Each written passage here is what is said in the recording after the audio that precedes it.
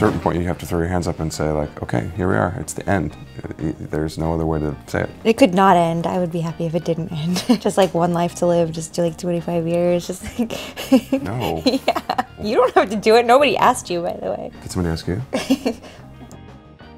There's two kind of big reveals in the pilot. Pete shows up at Peggy's door and she lets him in and where Don shows up back at his house and his wife is there. We don't know any of those things and it's just like, whoa, like did not see that coming. Part of what the show sells is the interior lives of these people are not exactly what they represent on the exterior. The left turns on this show um, with the characters is always, for me, the best stuff. I mean, there's the bigger, broader things that happen that are interesting and that are perhaps more eye-catching sometimes and get talked about, but even like Vinny, when he gives that hunting speech, when Yeah. he's sitting, you know, and it's just this So long, weird and out of weird speech. and yeah, and like the way that it's shot and that stuff is really what makes this show surprising and always goes in directions that I don't expect.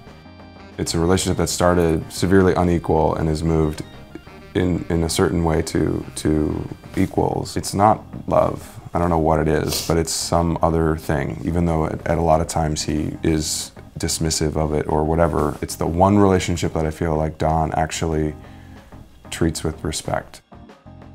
I am a believer in modern society. I don't want to go back to the past. I like painless dentistry. Mm. I like getting across the country in six hours rather than 12. The only thing is, I feel like the women, the way that they dressed and the, what was considered sexy, I think was was is was different than it is now. And one of our, you know, sort of sex symbols on the show is Christina, you know, and and she barely ever shows any skin, and she's considered this sort of sex symbol. And I think that would be kind of the only thing I would think would be nice about it. It would be nice to have those maxi pads with the belts, though.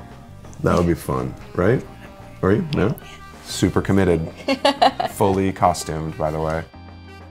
Julio, clearly. Yeah. Yeah. Exclamation point. I'm down.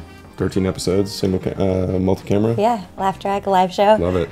The chronic misadventures of Julio and his weird aunt and absentee uncle. And the mom that you like never see Never that like there. lives upstairs, so you just never see her. All Sofia Vergara.